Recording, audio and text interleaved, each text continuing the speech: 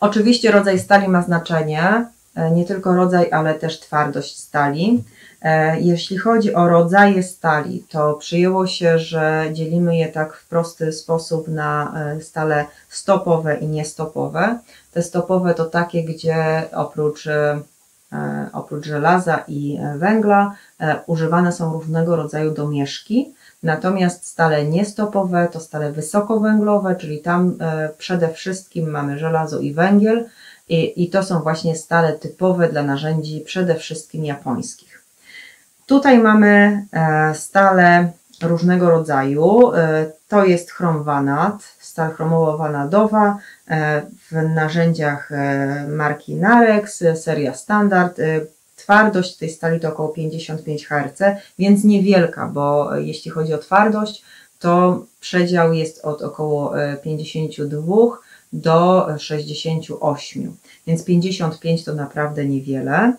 E, stal chromowo-wanadowa, czyli e, tego samego jakby rodzaju, e, już o twardości 59 Hz, ale przełożenie też nie jest tak jednoznaczne, ponieważ ta stal jest zdecydowanie lepsza. To jest jedno z najlepszych dud najlepszego producenta, więc tutaj no, nieporównywalna różnica.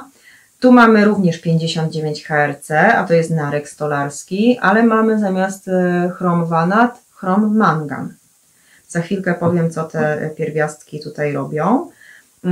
Tutaj jest też takie nietypowe, ponieważ e, Kirschen jako jeden z nielicznych e, wśród tych zachodnich producentów używa stali wysokowęglowej, czyli tej niestopowej.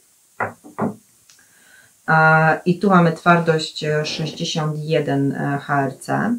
E, tutaj jest Dudu, to japońskie, też stal wysokowęglowa, niestopowa e, i tu twardość jeszcze wyższa, 63 HRC. Natomiast tutaj mamy już twardość ekstremalną, 66 HRC, DU to HSS, do naprawdę takich bardzo, bardzo ekstremalnych zadań. No właśnie, i co nam dają te różnego rodzaju twardości i gatunki stali? E, jeśli chodzi o domieszki różnych e, metali, to tak naprawdę chrom chroni przede wszystkim przed korozją. Vanat e, zwiększa, poprawia strukturę stali. Mangan powoduje, że ta stal jest twardsza, ale też jednocześnie bardziej krucha. Więc proporcje między tymi poszczególnymi pierwiastkami to jest już naprawdę bardzo taka żonglerka, tak? Bo czegoś dodamy, to nam to jednak niestety nie zawsze wyjdzie tylko na dobre i znalezienie e, przepisu na taką idealną stal to nie jest taka prosta sprawa. Więc e, domieszki różnych metali, tak naprawdę my jako użytkownicy nie do końca musimy się tym przejmować, ale bardzo powinniśmy przejmować się twardością tej stali. Ponieważ tak jak wspomniałam, tutaj mamy 55 HRC i to jest bardzo miękka stal. Ta stal bardzo łatwo się ostrzy, to jest jej naprawdę bardzo duży plus, ale niestety bardzo szybko traci ostrość i przeznaczona jest przede wszystkim do miękkich gatunków drewna. Stale, e, stale e, bardzo twarde, stale powyżej 59 HRC, 60. To już są stale, które możemy używać e, zdecydowanie szerzej, bo możemy je używać oczywiście do miękkich gatunków, ale też do bardzo e, twardego drewna, trudnego drewna, które ma sęki. Jest jednak również minus, ponieważ te stale są kruche i e, szczególnie w przypadku dłut japońskich należy bardzo, bardzo uważać na, na to, żeby e, tych dłut nie wyszczerbić. Dodatkowo więcej czasu poświęcimy na ostrzenie. Efekt ostrzenia będzie zdecydowanie lepszy, bo zdecydowanie lepiej wyostrzymy takie dłuto, ale więcej czasu musimy na to e, poświęcić.